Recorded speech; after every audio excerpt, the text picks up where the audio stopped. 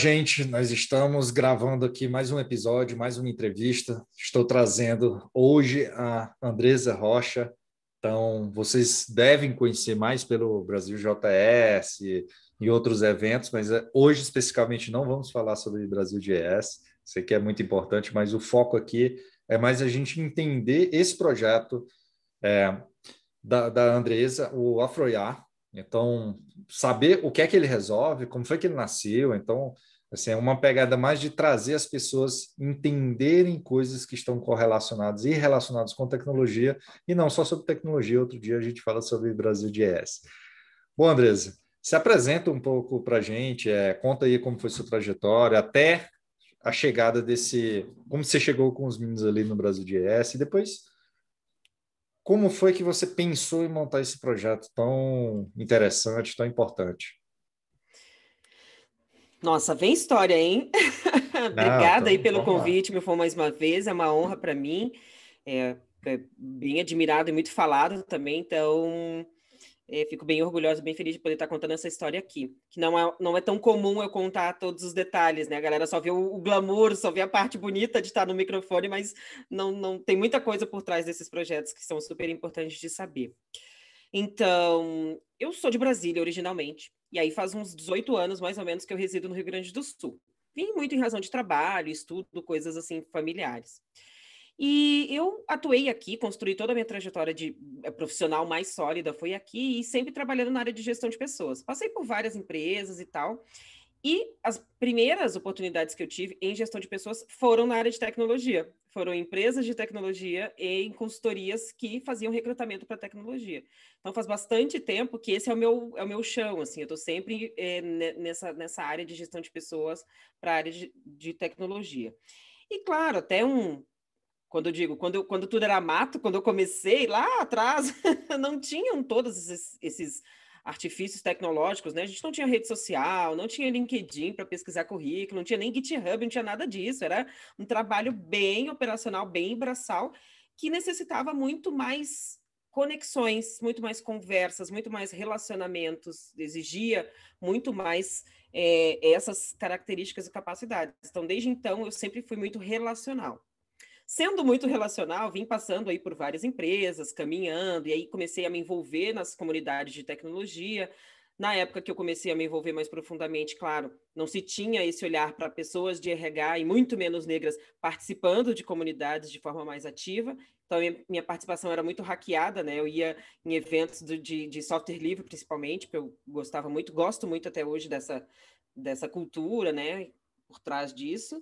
E aí comecei a participar de alguns eventos de software livre bem sem, sem ninguém saber quem eu sou, ninguém ver quem eu era. E aí tinham aquelas perguntas, mas tu é louca? O que, que tu quer fazer em evento de, de TI? Você é da RH, o que, que tem a ver? E aí eu falei, não, tem tudo a ver, eu preciso saber o que eles estão conversando, eu preciso saber o que, que eles estão falando para entender na entrevista, né? Para ninguém me enrolar, quero saber como é que eles estão, o que, que é que eles estão fazendo aqui, que eu sempre gostei bastante, né? E aí fui, fui nessa, fui caminhando e claro, sempre sentindo aquela falta de identificação, que afinal de contas nunca fomos muitos.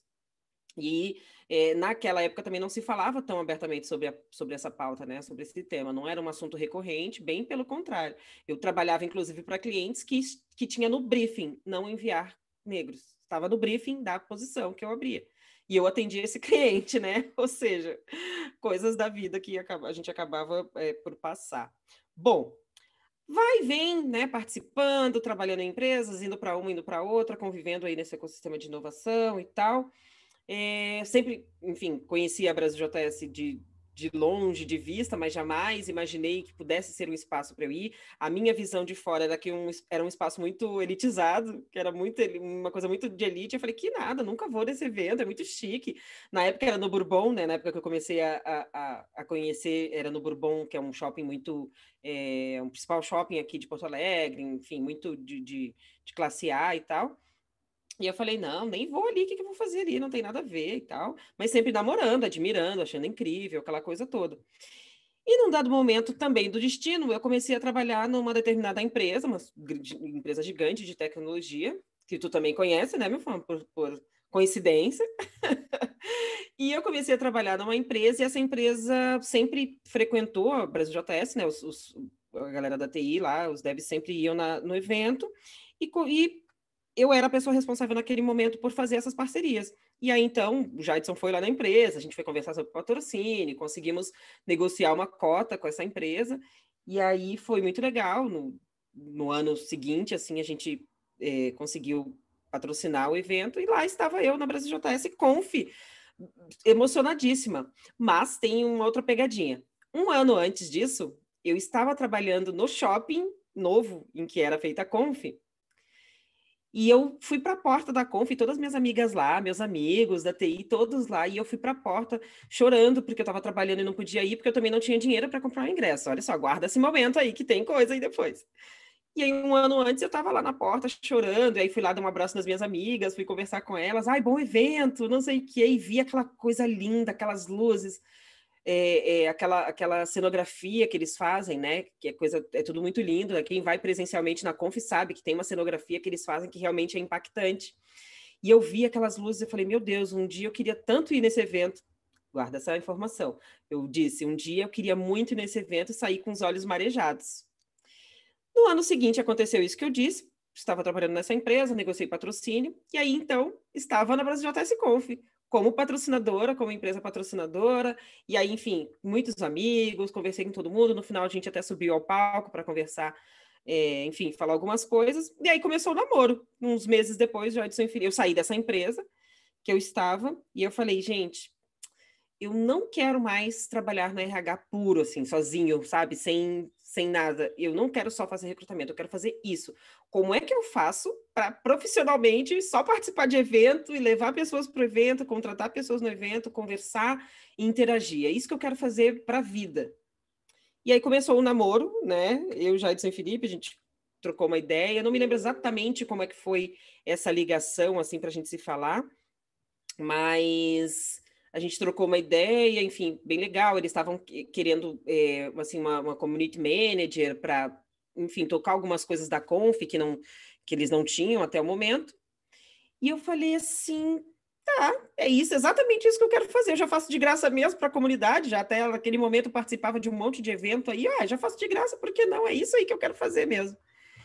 E aí foi assim que eu cheguei na Brasil JS. E aí, enfim, daqui depois de um tempo aí fui convidada para ser sócia. E hoje tem esse gigante aí no, nos braços, no colo, na alma, no coração, levando esse olhar muito mais diverso, muito mais incisivo para as questões de inclusão, muito mais intencional e, e, por outro lado, mais profissionalizado também, porque não é só querer, tem que organizar para poder fazer da melhor maneira. Resumindo, esse é um resumão, mas é um bom resumo. Eu vejo isso muito acontecer, né, de, de, de pessoas que vêm de outra área, que querem entrar ou participar da área de tecnologia, mas por muitos problemas, assim, principalmente da falta de cultura, talvez, da nossa área, a gente é, é muito fechado, não dá, assim, não, há, não é aberto, por mais paradoxal que seja, a área de tecnologia não é aberta para outras culturas, a gente é muito fechado, sempre foi um problema, um dos problemas a se resolver nessa questão. Uma coisa que você falou, que eu sempre enfrentei lá atrás, é, há mais de. Eu faço evento desde o primeiro evento que eu participei de organização, acho que foi em 2002. Então, deve ter gente que nasceu nesse ano está assistindo esse nosso vídeo, é, participando de organização, realização, etc. Se eu não me engano, foi 2002. É, e eu, desde 2002, desde os primeiros eventos, que eu tenho uma máxima de não fazer nada gratuito. Mas por, pelo seguinte motivo, muito disso que você falou. O que é que acontecia? A gente fazia eventos gratuitos, pessoas que podiam pagar ocupavam vagas e não iam, ou causavam problemas, enfim. A gente começou a cobrar uma taxa pequena. Essas pessoas pediam desconto, fazer, sabe? Você, tinha um, você demorava muito tempo resolvendo uma burocracia que você está fazendo já meio que de graça, né? Ajudando a comunidade. E você ia ver essa mesma pessoa, na época ainda não tinha Facebook, Instagram nem nada, mas estava falando em lista de, em listas, eh, o Orkut na época depois, é, foto de balada, assim, as mesmas pessoas que iam pedir desconto no evento estavam gastando dinheiro assim, não tenho nada com que ela gaste dinheiro na vida dela, mas ela estava ocupando o lugar de uma pessoa que não podia pagar, que foi esse caso que você falou. E aí, lá atrás, principalmente lá no Ceará, que é parte grande parte da minha vida profissional, a gente criava modelos e, e de, cobrava sempre, mas criava modelos para trazer uma inclusão. Não tinha esse tema de inclusão. Assim, a gente não pensava, ah, vou trazer as pessoas que são oprimidas ou não podem pagar. Não. Era mais como uma revolta, pessoas que podem pagar estão ocupando lugares de pessoas que querem participar e, e, e, assim, não tem como a gente avaliar caso a caso, porque não, nem dá para fazer isso. A gente sempre fez eventos muito grandes, tinha lista de discussão de duas mil pessoas, então era bem movimentado no Ceará. Era uma das maiores comunidades do Brasil, era a nossa região. Então a gente criava meio que esses esses modelos assim de como é que a gente sempre vai cobrar, mas como é que a gente cria modelos que vai na universidade que é mais é, assim que as pessoas não têm tantas condições, vai procurar na, nas comunidades ali, nas listas de discussões na época, né? não existia Slack, não existia essas coisas, era lista de por e-mail. Como é que a gente traz essas pessoas e, sei lá, dá um voucher para elas, faz alguma coisa assim para para atrair e abrir um pouco mais o nosso, o nosso universo, não falar só para as mesmas pessoas sempre. E aí, por isso que, assim, eu quero trazer no canal aqui muitas dessas iniciativas de pessoas que realmente têm metodologia de como fazer isso. E por isso, um dos grandes objetivos de te ouvir aqui e trazer o tema do Afroiá, que aí eu queria agora entrar nesse tema. Como é que você pensou, estruturou e está executando isso? Assim, o que é o Afroiá? Explica para a turma. Me identifico bastante aí com, com uma, uma parte da, da tua fala, é, porque eu tinha essa, essa percepção de, de sim, de fazer, vamos fazer aberto para ser inclusivo, para ser para todo mundo, mas não é exatamente assim que funciona, não é exatamente a melhor maneira, e por isso eu fui buscar e buscando até hoje formas de fazer é, de maneira estruturada. Então, o Afroiá, ele nasceu de, um, de, uma inquietação de invisibilidade, de uma falta de, de enxergar representatividade, de uma falta de não ter um espaço para falar sobre isso sem, sem alguém dizer assim, ah, para, coisa da tua cabeça. Então, ele, foi, ele nasceu para isso, para que a gente pudesse ter um fórum é, de acolhimento, principalmente. Então, geralmente, muitas iniciativas ou muitas, muitos, muitas pautas, quando se trata de diversidade racial, vão falar de dor, de morte, enfim, sei lá, de tragédia, de coisas horríveis. E olha só, existe um outro mundo maravilhoso, incrível, de pessoas super qualificadas, pessoas incríveis que estão pelo Brasil afora e que elas estão invisíveis. E essa invisibilidade é bem incômoda. Então, a Freia nasceu primeiro dessa inquietação. É, eu participei da fundação de um dos primeiros, das primeiras, da primeira comunidade de pessoas negras na tecnologia no Brasil, que foi o AfroPython, né? Então, ela, a comunidade existe ainda, hoje eu não faço mais parte, mas participei da fundação. É, depois do, Afro, do AfroPython, eu eu criei uma outra comunidade chamada Afrotech, que era para ser um similar uh, com a comunidade Afrotech dos Estados Unidos, que é do Grupo Blavit, que é um conglomerado de tecnologia e inovação só de pessoas negras, que é super incrível, vale muito a pena conhecer esse case. Então, eu comecei a me espelhar em referen outras referências, né? Referências também de, de sucesso, de coisas positivas em tecnologia e inovação, que é a área que eu amo, que eu gosto, eu queria muito melhorar e, e, e me enxergar na, na representatividade, né? Me enxergar em outras referências. E aí, o Afroiá, claro que é, muito motivada também pelo advento de George Floyd no ano passado, aquela coisa assim de chega, não dá mais. Eu estava trabalhando metade do meu tempo, eu já fazia esse trabalho do Afroiá. Então, eu indicava pessoas para as empresas, eu ajudava as pessoas a formatar currículo, a arrumar o LinkedIn, é, sabe, uma posição. Mas a gente nem falava de posições de liderança. Inclusive, quando eu comecei a falar sobre isso com o Afrotech, nossa, fui super criticada, inclusive pela própria comunidade. É, muita gente assim, ai, não, tem um monte de gente para trazer, e vocês falando aí de líder negro, tem um monte de gente para começar. Eu falei, sim, mas tu já parou para pensar que também já tem um monte que está nessa numa posição e, e cadê essas pessoas? Alguém tem que dialogar com elas, alguém tem que falar com elas. Eu gostaria de ter outras pessoas na mesma posição que eu estou hoje para poder conversar e muitas vezes eu não encontro. E foi aí então que a gente foi construindo rede, construindo pontes. A Freia nasceu como um hub. Então, a Andresa, ela não faz tudo, ah, é a dona do conhecimento da diversidade, de tudo do planeta. Não, eu sou. Eu, a minha ideia é justamente ser um hub. Por quê? Porque, como hub, eu consigo conectar várias iniciativas diferentes e todas essas iniciativas são complementares.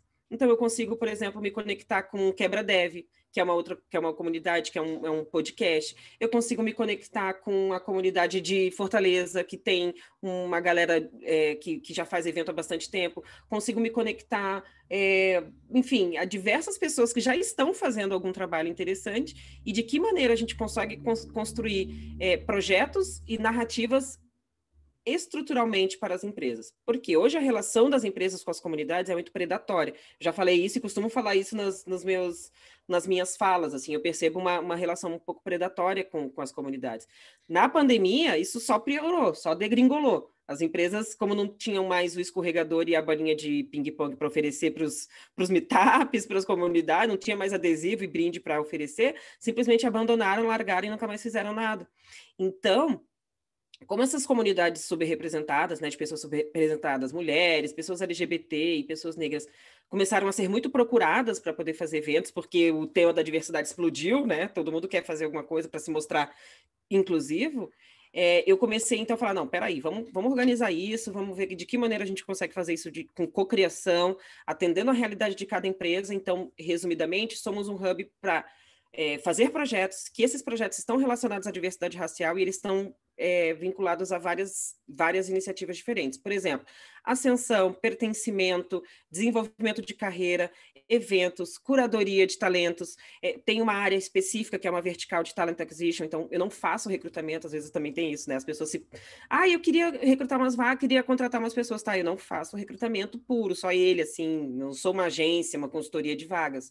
Nós somos um hub de projetos para que nós possamos fazer recrutamento, para que a gente possa é, atender as suas posições, é, precisamos fazer outras coisas antes, porque isso não, não é diversidade, né? É efetivamente, um projeto consistente, que realmente tenha duração.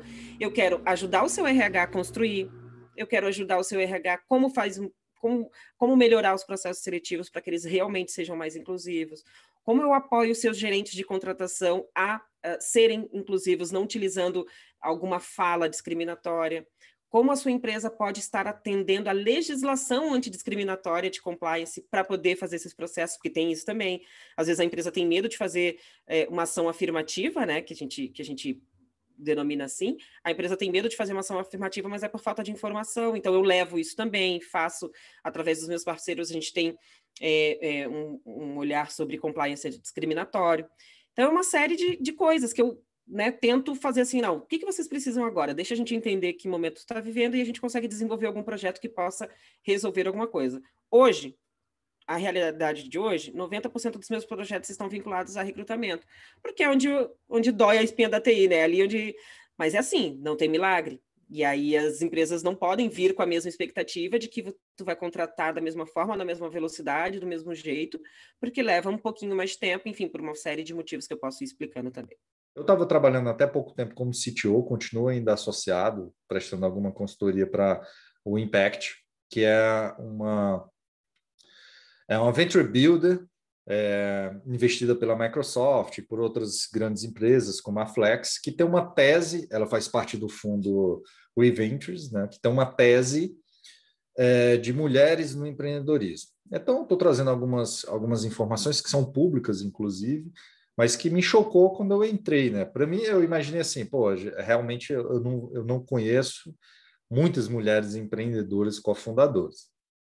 Mas quando eu entrei, tinha acabado de acontecer a primeira rodada de captação e vieram quase mil startups, onde mulheres tinham mais, que era a tese, né, mais de 20% do cap table, ou seja, eram sócias com mais de 20%, seja uma ou mais mulheres que somados davam mais de 20%. Isso me surpreendeu inicialmente.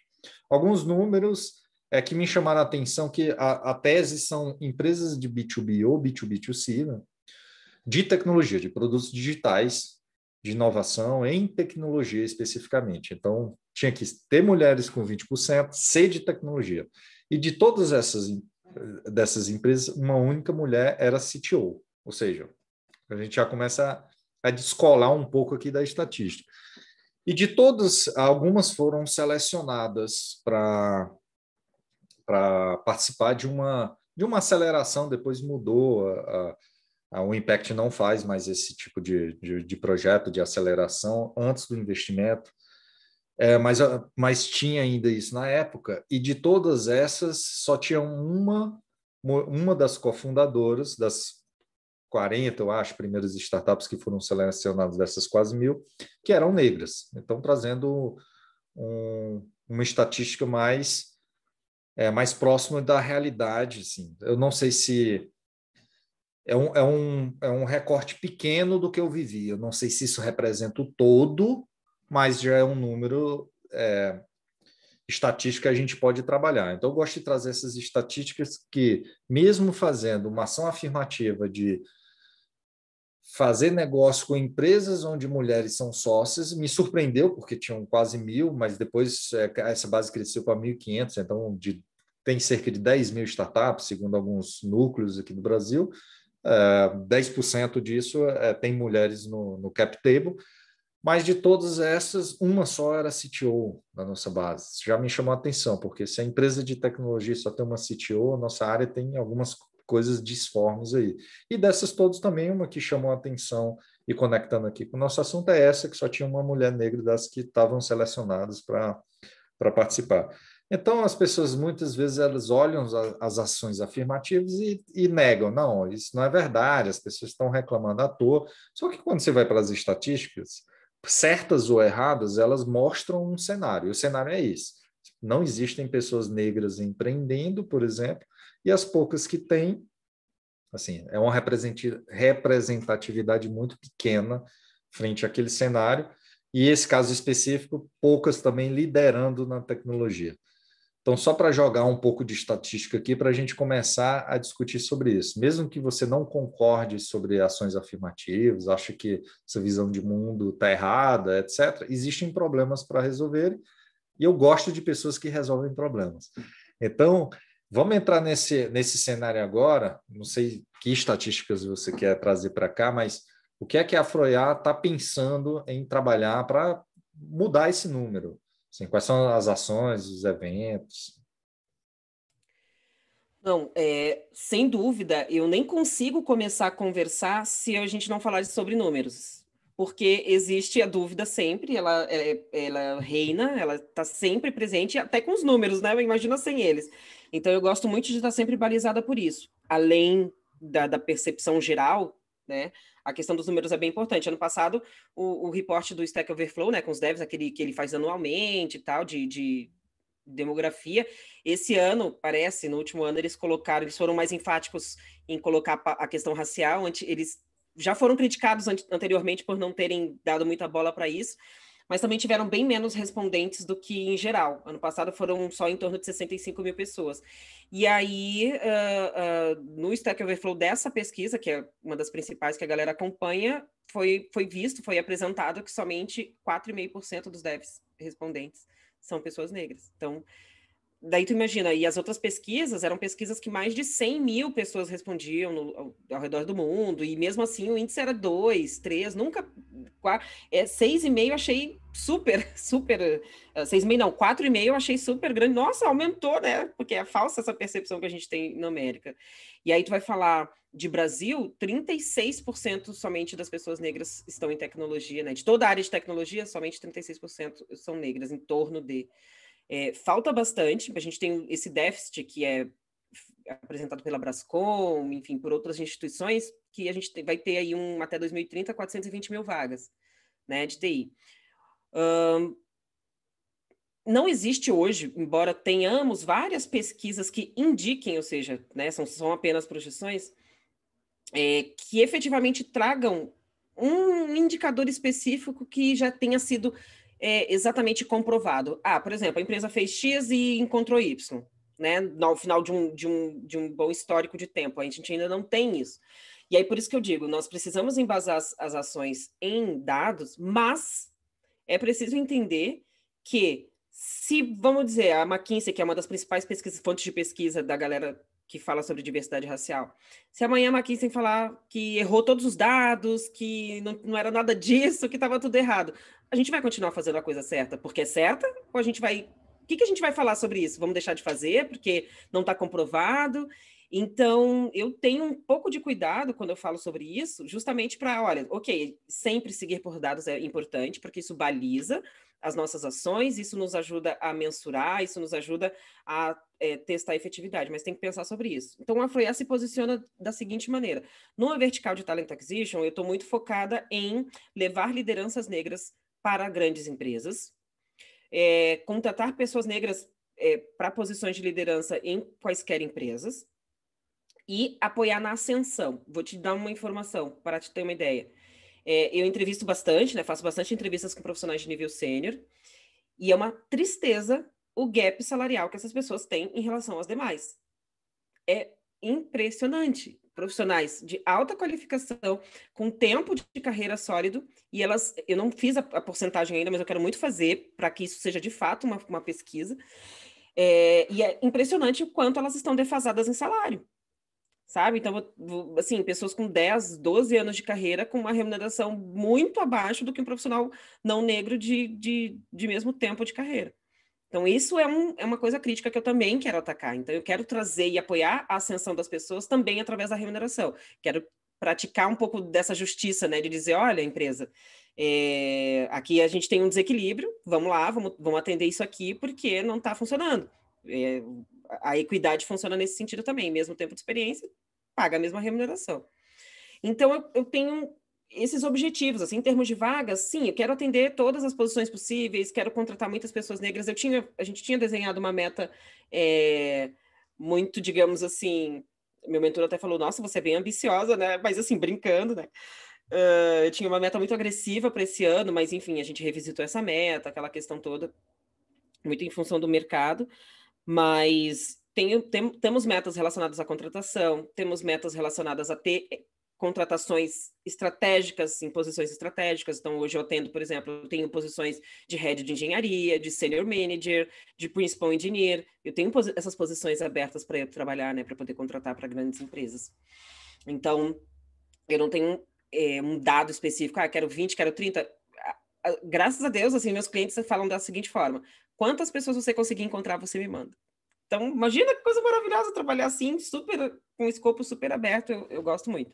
Mas o meu objetivo ao final do dia ali, quando, quando as, a, a, eu chego no meu travesseiro para esse ano, para esse primeiro ano, é muito apresentar quem nós somos, apresentar nosso trabalho, mostrar que existe, porque sim, existem muitas pessoas negras empreendedoras, mas elas são invisíveis, esse é o problema. Nós somos invisíveis ainda.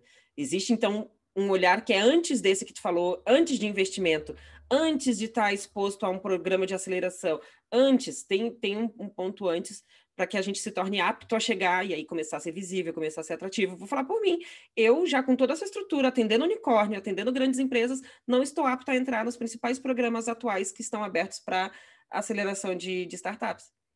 Não estou, porque a minha base não é tecnológica. E aí eu puxo aqui a fala muito da, da Monique Evelyn, né? Nem tudo, nem todo trabalho que é bem feito, nem todo negócio que é bem estruturado, ele é 100% feito para ser escalado. Como é que me diz, me explica como, tu que né, tá nesse ambiente, como é que eu escalo o meu a minha empresa que é um trabalho 100% consultivo? É contratar o quê? 100 mil pessoas por, por semana? Como é que a gente faz a escala da diversidade neste aspecto? Eu não tenho um SaaS, eu não tenho uma plataforma, eu não trabalho com uma, com uma entrega de produto, tudo que eu faço é consultivo. E aí tu me diz que para eu estar apta a chegar nos programas que são destinados a pessoas negras, destinados a pessoas negras, eu preciso me plataformizar. Tá, mas e se o meu trabalho não for este? Quer dizer que eu não tenho acesso. E aí eu não consigo fomentar o restante, sabe? É super complicado, não é muito fácil, não. E, mas a gente vai hackeando, vamos hackeando, porque não, não parar não, não tem como. Eu, eu vou, ou eu vou ficar reclamando, ou eu vou fazer. Então eu optei por tentar fazer. Uma forma de resolver os problemas das pessoas é dar dinheiro a elas. Eu vou explicar o porquê antes que vocês me critiquem. Quando você falou que as pessoas negras ganham menos, você só vai resolver realmente a questão da igualdade quando elas ganharem mais. Você pode fazer a maior propaganda do mundo. É verdade. Publicar nas redes sociais, olha como nós somos inclusivos, empregamos mais negros do que o concorrente. Mas se você for pagar menos para eles, assim, vai continuar, talvez reduza 1%, mas você vai continuar escalando o problema ainda para acontecer. Eu tenho muita visão de que você resolve o problema quando você dá dinheiro às pessoas. E dar dinheiro não é doação, esse tipo de coisa, é você realmente, como você falou, é, existe um problema de invisibilidade, você torna-os visíveis quando eles passam a ganhar mais, quando eles passam a ser competitivos de meritocracia, a gente não, não, essa palavra nem poderia ser pronunciada num, num país como o nosso, assim, no, como as empresas dão esse valor para ela, da forma como, como tratam, eu a minha percepção pessoal, e olha que eu não eu só sou negra, eu não tenho uma história triste para contar de pobreza, de favela, de passar fome, eu não tenho nada disso, eu não faço parte disso, eu só sou negra.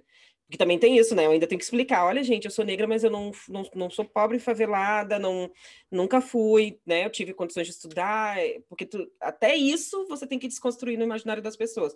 Tanto é que eu demorei e ainda demoro, levo tempo para conseguir me posicionar como empresa e não ONG. Porque as pessoas pensam que, que eu sou uma ONG, que eu sou um projeto social, e aí eu fico olhando, engraçado, será que, sei lá, o, o empreendedor lá, sei lá, do, que participou do Startup Weekend, ele tem que explicar que ele é uma empresa e que ele não é uma ONG? Será que a, a empresa lá que tem de, de, impacto do sistema B, os empreendedores têm que explicar que eles são empresa, eles não são ONG?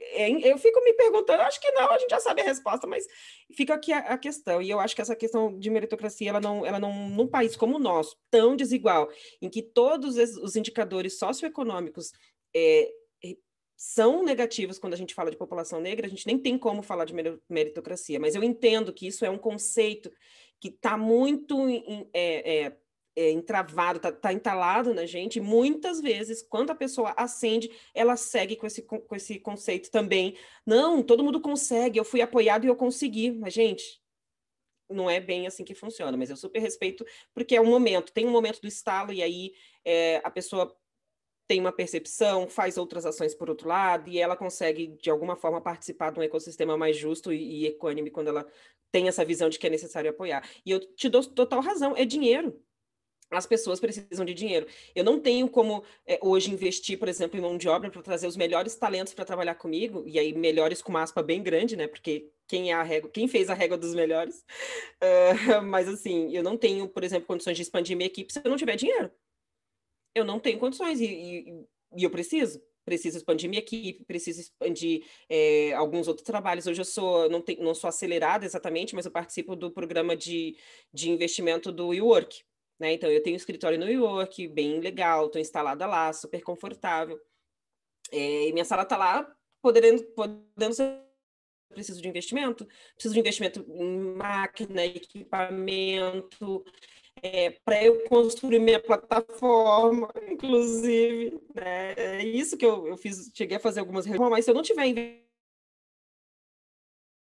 faço isso, eu não sou herdeira, não tenho como vender casa, carro, não sei o quê, porque eu nem tenho, então como é que a gente faz para começar a, sabe, participar? É, mas eu entendo que tem, enfim, é, tu não, tu, a diversidade, a inclusão e a equidade, elas moram exatamente em entender as diferenças de cada coisa, exatamente entender as diferenças de cada negócio, exatamente entender as peculiaridades de cada mercado, entender como funciona. Hoje no Brasil, não tem ninguém que faça ou se proponha a fazer o que a gente está fazendo.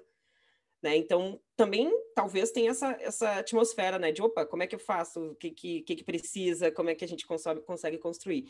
E aí eu dou, tenho é, muito aqui, já aproveito para fazer um, um jabá do bem aqui, que é para dar um alô para o meu pro nosso mentor, né? Que me ajuda bastante nessas questões de posicionamento, de negócio, de marca, de enfim, de business, que é o Vitor Hugo Germano, CEO da Lambda 3.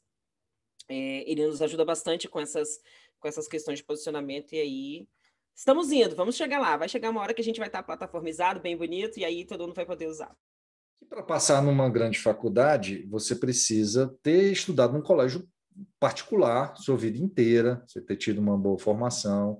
E isso nunca se fala. Eu até tive uma discussão com um professor universitário de federal alguns anos atrás, onde eles queriam provar pela estatística de que a universidade tinha uma parcela de negros muito alta, que eram pessoas que vinham da escola pública, e isso não era verdade. Até hoje isso não é verdade, mesmo com cota, isso não é verdade. para entrar numa, numa faculdade de elite, você tem que ter feito praticamente sua vida inteira de escola particular, até porque se, se, colocou, se jogou muito no lixo as escolas públicas. Eu estudei a minha vida inteira escola pública, mas eu sou, gente, final dos anos 70, eu peguei os anos 80 e o começo de 90, eu estudei numa escola. Eu sou formado de segundo grau como técnico agrícola, para você ter uma ideia. Então eu sou bem eu sou bem matuto mesmo, lá do interiorzão. Era para ser, eu fui criado para ser agrônomo, então essa era Nossa. a criação da minha família. Meus 11 tios são técnicos agrícolas, a maioria que fez nível superior são agrônomos, etc. Então, era de uma época que existia uma escola pública bem melhor do que tem hoje, assim, de Sim. nível federal, e depois foi, foi caindo o nível. E aí, é, eu fiz esse disclaimer aqui porque é onde eu quero puxar agora é, essa questão da educação. Eu tento fazer algumas mentorias, tento fazer, mas não, assim, não tenho tempo hábil de, de ganhar escala nisso. Como é que a gente pode resolver essa questão de.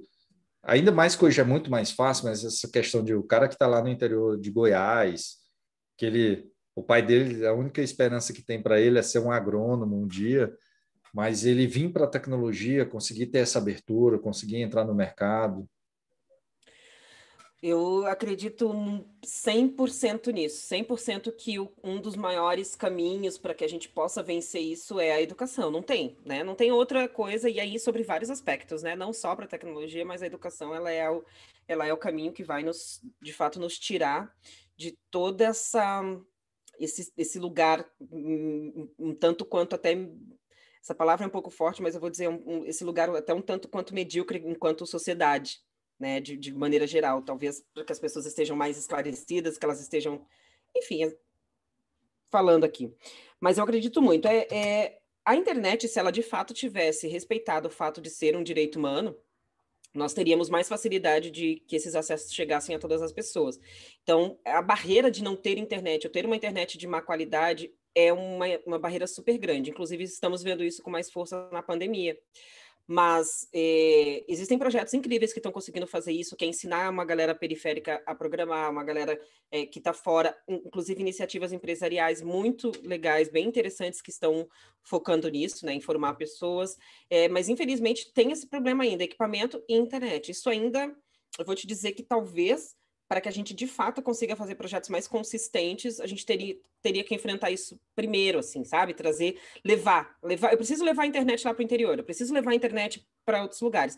A gente fez em 2019 uma palestra no, no evento em São Paulo, pela Brasil JS, em que nós tínhamos a Silvana, uma, uma pessoa incrível, maravilhosa, que viralizou nas redes porque ela estava programando no caderno aprendendo JavaScript no caderno. Ela escrevia, anotava, gravava as coisas. Ela ia para outra cidade, salvava as coisas num pendrive, é, ia para casa e aí lá ela continuava fazendo num computador sem internet, porque ela morava na zona rural do, do interior da cidade e, e, trabalhava na roça mesmo, roça, zona, zona rural, é, família de agricultores, e ela queria muito ser programadora e fazia isso. Ela ia para outra cidade, acessava a internet, voltava para a cidade dela, saía, voltava. Gente, olha isso.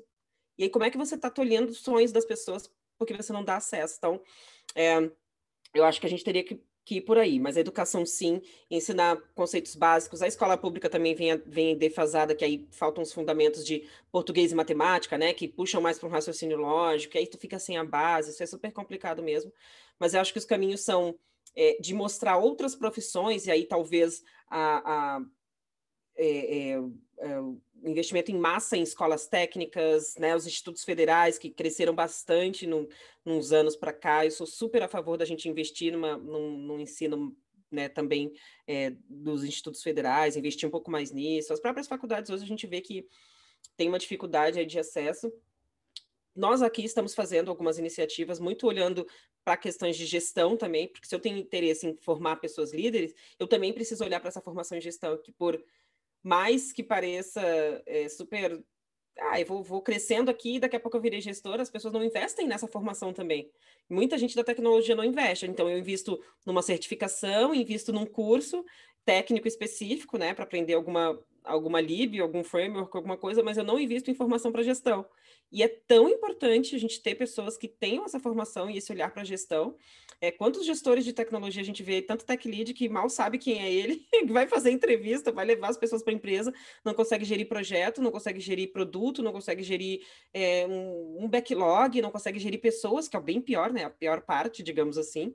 Não consegue defender um, uma, de uma forma argumentativa o seu, o seu, a, sua, a sua opinião lá para poder, enfim, escolher uma feature que vai entrar ou não ali no, no roadmap naquele momento, enfim.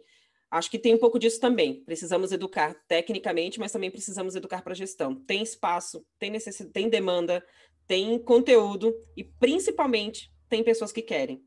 Esse é um caminho assim. É, investir em escolas que formam, institutos que formem. Nós, a gente fez um projeto em parceria com a Conquer, o Afroiaf tem uma parceria com a Conquer. Nós estamos formando lideranças é, negras para atuar na indústria de tecnologia ou não, né? Tecnologia e inovação. É, conseguimos fazer essa parceria, então, até o final do ano aí a gente vai ter formado em torno de 100 pessoas. É, é bastante coisa, é, é muito, muito investimento de tempo, de dinheiro, de, de desejo, de vontade e tudo mais.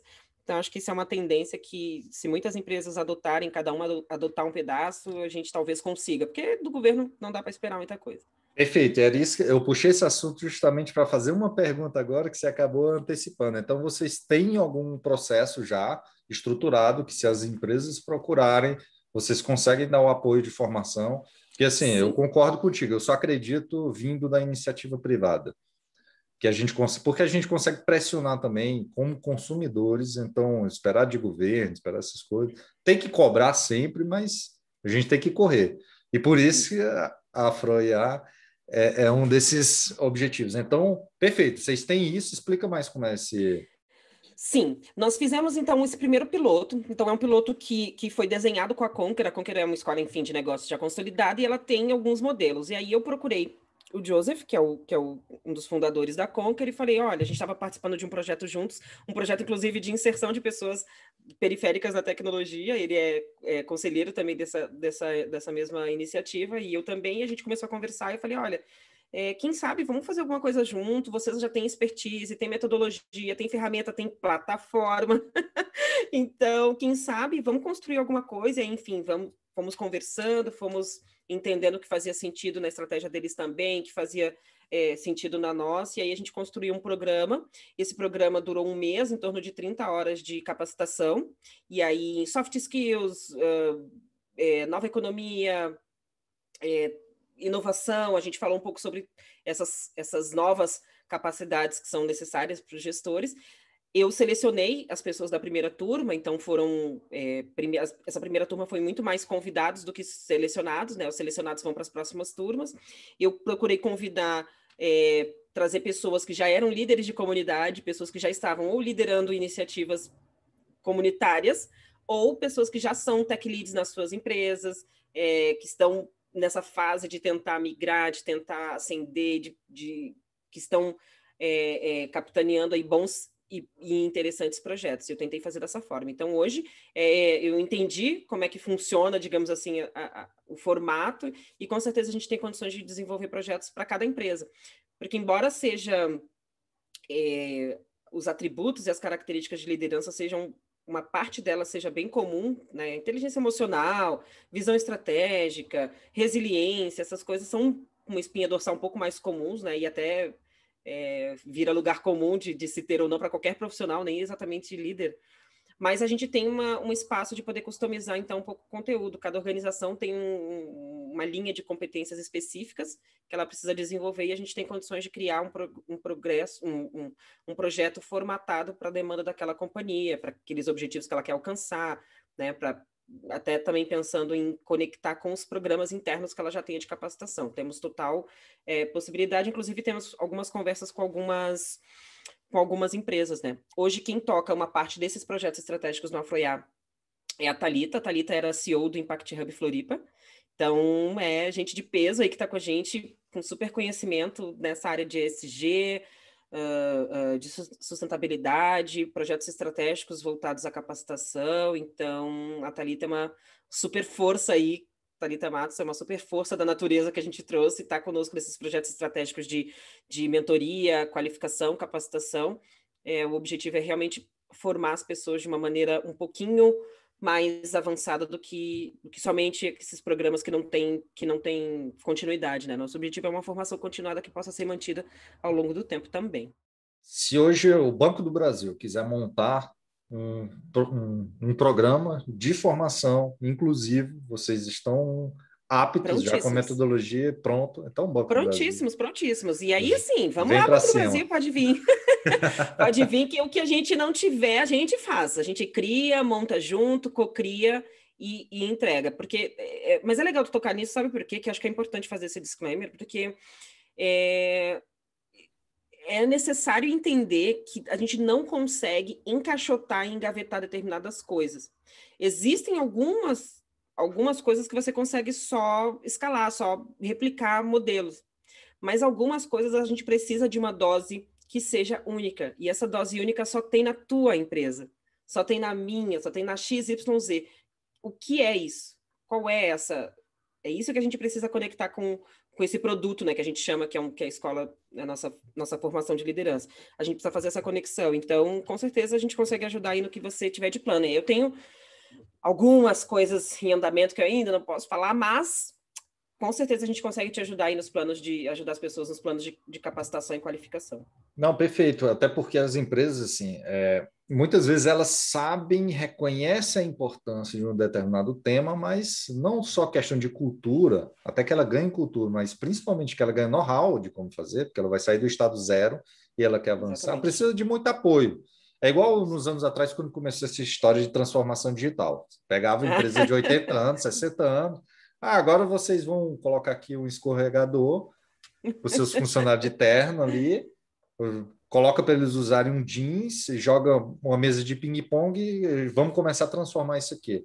E não é bem assim, você tem que respeitar o DNA da empresa, entender Exatamente. a cultura e introduzir aquele assunto. Então, muita gente falhou, por exemplo, nesse tema. Muita gente, não, a grande maioria do que eu vi, principalmente aqui no Brasil, toda transformação digital foi é, assim, traumatizada para quem estava dentro da empresa, porque você está tentando mudar as pessoas. Ninguém muda, você ajuda. Então, as pessoas, principalmente, principalmente adulto, adulto não muda. A gente ganhou a nossa caráter, etc. Ali, você, se você procura ajuda, a gente pode ajudar, não querer mudar essas pessoas. E a mesma coisa funciona para a instituição. Então, acho que ela, se ela tem um apoio ela entende primeiro e tem alguém para apoiar, ela vai conseguir crescer muito rápido, porque ela já pega algo que funcionou, alguém que já tem know-how e consegue ajudar a avançar nisso, nessa tentativa de, de ganhar aquela expertise. Por isso que eu puxei esse tema, principalmente para conectar esse assunto que eu acho super interessante, que eu também acredito tem que vir pela formação. Assim, você não, não vai conseguir é, mudar as próximas, não é questão de mudar, mas sim as próximas gerações já nascerem com outro olhar, se você não foca na, na formação. Então, por isso que eu puxei esse tema é, de formação, que também ajuda naquele outro tema que eu falei, que é fazer as pessoas ganharem mais dinheiro. Que elas ganhando mais dinheiro, Exatamente. elas são mais independentes. Exatamente, e contribuem. Você tem ideia que o, o, o problema, o tamanho da desigualdade, o custo da desigualdade no Brasil é mais de 800 bi 800 bi, o custo da desigualdade. Tu tem noção do que, que é um país que se movimenta tanto dinheiro, tantos recursos de, de toda a monta e nós insistimos é, na desigualdade. Então, é, é uma falta de, de, inteligência de negócio mesmo, de como se fomenta mercado, de como se, é, se, se, se, ajuda é, uma população a avançar, e aí avançar sobre vários aspectos diferentes. O custo é tão mais caro você não investir do que se você tivesse investindo e as pessoas simplesmente se preocuparem com o que elas nasceram para fazer, né? no que elas são boas ou no que elas aprenderam a fazer, uh, produtivas, felizes, saudáveis, né? com uma saúde em dia, enfim, é uma, é uma loucura. Essa falta de investimento ela, ela é bem prejudicial e a gente pensa que isso não tem consequência, né? Enfim, são só é Precisamos da... tomar nossas palavras de volta, de nossas volta. palavras de força e luta de volta. Precisamos dar, ressignificar as palavras e as ações para que a gente possa usá-las adequadamente, né? Sem esse medo de má interpretação, porque é tão complexo, né? De fato, é, foi tudo muito usurpado, né? Nossas, nossas, nossas coisas são todas muito usurpadas de forma da pior maneira e da, pelas piores pelas piores é, vertentes da sociedade possível. Então é bem complicado e eu, eu super entendo. Tem um caminho longo aí para essas questões. É, a questão da equidade, é, ela é o que a gente vem falando aqui, que é para dar as mesmas condições de competição para as pessoas, para que elas possam fazer. Essa questão de, de sobrevivência é isso, as pessoas tão, só querem viver. Então, assim, nada mais importa. Nada mais se ela vai ter o emprego, se ela não vai ter. Nada mais importa. Ela, ela, só precisa amanhã acordar viva. Daí depois ela vai se preocupar em virar uma pessoa, virar um cidadão. Que a gente, se a gente está falando especificamente focando em pessoas negras, nem existe ainda esse, esse, esse direito de, de, de, de existir, né? De ser uma pessoa. Ainda, ainda é uma outra etapa. Então são várias, várias coisas que a gente precisa ultrapassar. Mas sabe uma coisa que também eu vou te falar? Que tem essa, a gente está nessa zona, tu falou de zona cinza, eu achei importante comentar que tem essa zona da invisibilidade que eu te comentei, que é, uh, existe tudo isso, né, tem uma parte que está lá super fora do, do contexto, né, é, e aí a gente tem uma parte também muito, muito pobre, mas a gente tem uma zona de pessoas que estão num, numa, numa posição, digamos, confortável, que, que já ascenderam, estão em ascensão, um programador, uma pessoa aí que ganha 15 mil reais, ela está numa realidade totalmente fora do, do restante da população brasileira, mas ainda assim, quando ela ascende, ela não tem, ela não tem espaço, ela não tem lugar, ela não tem voz, né? Então, e aí por que, que eu estou falando isso? Porque o Afroiá também vi, está um pouco nessa, nessa zona cinza, de trazer essas pessoas, peraí, como assim? Quer dizer que eu estudei, então, eu consegui uma boa posição, eu consegui ascender financeiramente, mas mesmo assim eu não apareço, eu não existo, eu sou invisível, uh, meus produtos e serviços não são feitos para mim, não são feitos pensando no meu consumo, não são feitos é, para que eu possa comprar e não tenho acesso, enfim, tem uma série de coisas. Então, para te ver o tamanho do, do desafio que se tem por aí, de olhar com outros olhos, e eu nem me preocupo com quem não não aceita ou quem discorda, porque essas pessoas me preocupa assim, no sentido de que se hoje ainda nós nos damos ao luxo de termos pessoas na, estratégicas nas empresas que estão por fora dos indicadores socioeconômicos do país, eu, se fosse a empresa, ficaria bem preocupada. Porque eu, se eu se eu estou vendendo um produto serviço, se eu estou fabricando, eu estou pensando em um público. Que público? Eu estou pensando em alguém para comprar. Tem que ter alguém para comprar, tem, alguém, tem que ter alguém para fazer, tem que ter alguém para vender, tem que ter. Tem uma cadeia né, de stakeholders aí na, na, em torno de você. E aí, se eu tenho estrategicamente em alguma posição uma pessoa que está por fora de quais são os fatores estressores da compra, da venda, da produção, desculpa, mas é, é, é bem difícil que esse negócio tenha é, sucesso para sempre. Né? Vamos dizer assim, ele pode ter ali um, a sua, a sua ele pode ser um negócio super bem sucedido, mas é, é importante olhar para isso, porque as grandes tendências, uma das maiores tendências hoje de negócios a nível global é o ESG, que é o investimento social e de governança. Por exemplo, as grandes empresas já estão fazendo isso. Né? As maiores que já que têm essa dificuldade de inovar, né, têm essa dificuldade de crescer rápido, então elas já sabem que elas têm que começar antes. Elas estão puxando e estressando esse tema, daqui a pouco vai haver um nível de exigência tão grande para isso que você não vai conseguir mais fornecer para determinadas empresas. Hoje a gente já tem isso, né? A gente já tem grandes empresas fazendo qualificação de fornecedor, fornecedor que não apresentar aí determinadas condições, não somente na questão ambiental, mas na questão é, é, social e de diversidade, já não vai conseguir. Viu os fundos lá, o BlackRock, o fundo dos Estados Unidos, já colocou meta para contratação racial, já, já estabeleceu que os seus próprios, seus próprios próximos investimentos, as empresas vão ter que estar tá olhando para diversidade na liderança, o seu board precisa ter mulheres, e eles estão aí estudando qual vai ser o indicador utilizado para a questão racial também. Aqui no Brasil, a B3 também está em estudo, né? Essa revisão aí da B3 para colocar aqui. Eu acho que ainda vai demorar um pouquinho, mas tem, tem bastante gente endossando a causa. Acho que a gente vai chegar nisso em breve. Mas é uma tendência, não dá. Então, se você ignora as grandes tendências você não ignora as tendências técnicas, certo? Tu está de olho na, na, questão da tecnologia, tu está de olho na questão da inovação, tu está de olho na questão do growth, do marketing, de tudo, e você não está de olho nas principais tendências relacionadas à pessoa e sociedade, qual é exatamente a função que a tua empresa ocupa enquanto é, é, é, de um ponto de vista cidadão? Que eu acho que é uma preocupação importante que deveria existir. Mas eu não, não estou falando aqui de utopia, né, gente? Estou falando de coisas práticas do dia a dia. Boas práticas de governança, não estou falando de ursinhos carinhosos, ai, vamos todo mundo ser feliz, todo mundo se amar, não é isso, não. Estou falando de business. Né, de como que a gente conecta essas questões que são super importantes às suas estratégias de negócio. Contratar bem, contratar melhor, contratar de forma justa, equilíbrio, né, financeiro para que, que a ética e a governança estejam presentes e você consiga alavancar e ter uma melhor imagem, a sua reputação como marca empregadora, porque as empresas, as pessoas escolhem para onde querem trabalhar, principalmente quando a gente está falando de diversidade, cada vez mais não tem uma pessoa branca, preta, azul, amarela, mulher, homem, qualquer pessoa, todas as pessoas com quem eu me relaciono, a primeira preocupação é para saber se tem alguma política de diversidade e inclusão dentro da empresa, a gente está falando de tecnologia, 420 mil vagas. Então, assim, sinto muito para quem não está olhando para isso de forma séria, estruturada e estratégica nos próximos três anos.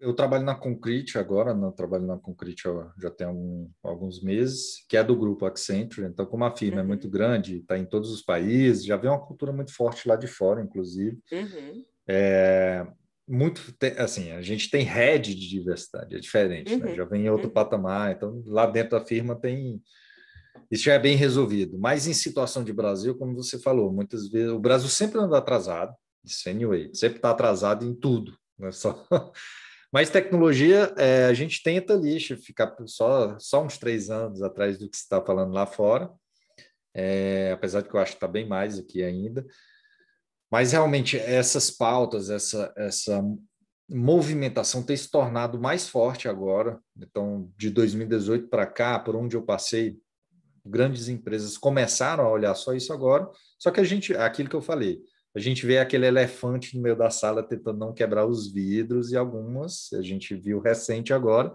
às vezes mete, faz declarações que, assim, tenta remediar e às vezes sai pior.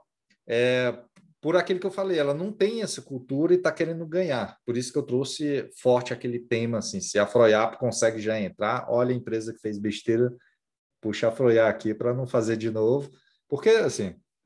E, e, e, outra coisa, a gente também é muito cruel com as pessoas que erram. Nós vamos errar, todo mundo erra, faz uma besteira, fala uma besteira, mas o ruim é não, não resolver o problema. Eu gosto de resolver problemas. A gente tem um problema na mesa e precisamos resolver esse problema. Então, por isso que eu, que eu gostei tanto assim do seu projeto, da sua empresa, que não fica só reclamando, vocês estão fazendo.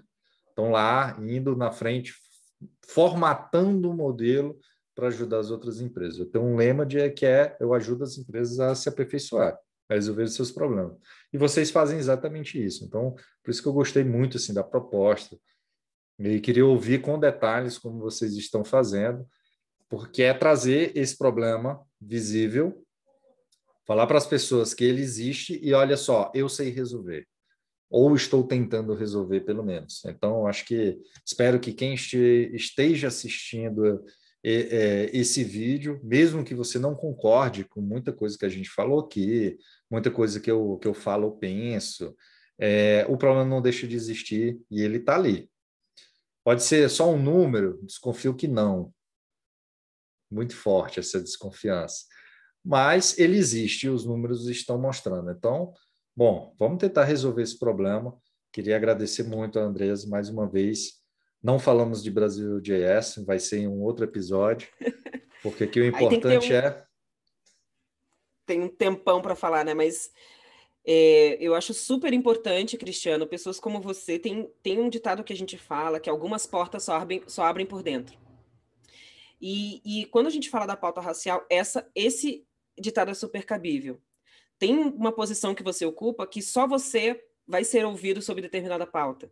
Por quê? Porque já é esperado que eu, olha só, eu sou uma mulher negra, então eu tenho todo. Já é, já é esperado que eu fale sobre essas coisas. Então, muitas vezes, em algum espaço de liderança, de gestão, de, de, de, de negócios, é, eu já não seja ouvida. Ai, lá vem a Andresa falar disso de novo. Ai, lá vem ela lá falar de diversidade. Porque já é esperado, né? Faz parte de quem eu sou. Eu não consigo separar a Andresa que trabalha no Afroiá e a Andresa que trabalha na Brasil JS. É, um, é a minha existência como ser humano. Eu sou, eu sou atravessada por essas pautas. É, então, tem essas portas que só se abrem por dentro quando vocês, pessoas não negras, se comprometem em efetivamente fazer a mudança, porque esse problema é um problema de todos, mas principalmente quem tem todas as ferramentas para efetivamente resolvê-los não somos nós.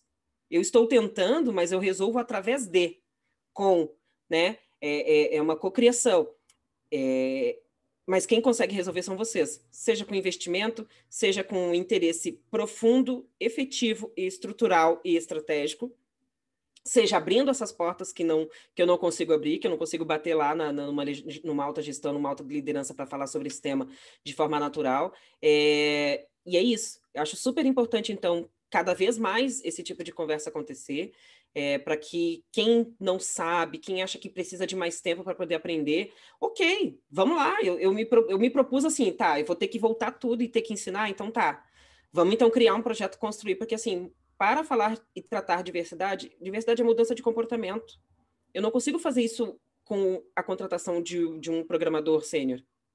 Eu não consigo mudar comportamento estrutural com contratação de, de, um, de um head de, de engenharia precisa existir mais coisas, precisam existir outras ativações, outras iniciativas que, em conjunto, façam parte da estratégia de pessoas da, da companhia, entende? Então, eu acho muito importante você puxar, é, você com a história que você tem, você com, com é, todo o networking, o know-how que você tem de pessoas e de tecnologia, de estar nesse mercado há muito tempo, eu, eu, fico bem feliz e te agradeço muito por esse espaço e espero muito que muitas pessoas que são tua audiência venham conversar conosco de forma aberta, sincera, esqueçam os preconceitos, esqueçam os preconceitos principalmente das palavras, né? Que todo mundo saiu falando um monte de coisa, falar quem tem boca fala, gente. Agora sim, sentar para estudar quem é que quer, né? Quando tu quer aprender design, tu não vai pegar um livro de design e não vai aprender? Quer fazer um curso e aprender Java? Tu não, não pega aí um, compra lá um, um curso e começa a estudar Java?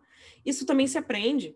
Gestão de pessoas e diversidade também se aprende. A gente pode estudar sobre isso. Então eu faço esse convite, né? Venham estudar sobre isso, vamos construir, vamos co-criar, porque não vai mudar enquanto a gente continuar só reclamando e discordando, né? Ah, eu posso discordar, mas não interessa, realmente não, não vai mudar. A gente só vai mudar se a gente sair da cadeira, se movimentar. E outra coisa muito importante, investir investimento financeiro, porque isso, é, isso custa, né? E investimento de tempo, tempo das pessoas para poder sentar, aprender, dinheiro e paciência. Com isso a gente consegue rodar bastante coisa legal. Então, muito obrigada, um grande prazer, espero poder estar aqui e espero que, que todo mundo lá siga o Afroiar nas redes, nos ajude aí com as coisas que a gente tem que fazer. Vou colocar os links aqui. Vou colocar os links aqui no vídeo da Twitter, Instagram, perfeito, YouTube. Perfeito. A gente coloco aqui para todo mundo acompanhar. Bom, muito obrigado e até o próximo vídeo.